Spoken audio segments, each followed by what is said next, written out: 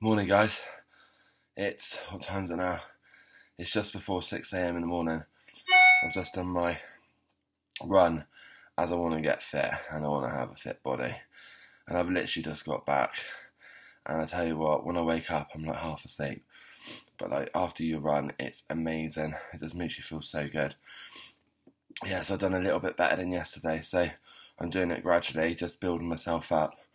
But any of you guys out there that are thinking about getting fit and that, I advise to do it. It makes you feel so much better. It's just getting yourself into that routine. So it's my second day doing the early run and it's great. And I'm just enjoying my coffee. Mm. As you can tell, I've only literally just got back and I'm a bit out of breath, but my legs are really hurting today.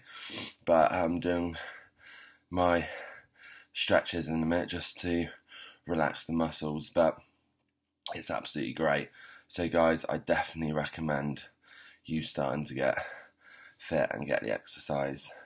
I know you like probably like lying in bed and thinking, oh no, I can't get up early in the morning, but trust me, I was like that, and it's it's brilliant.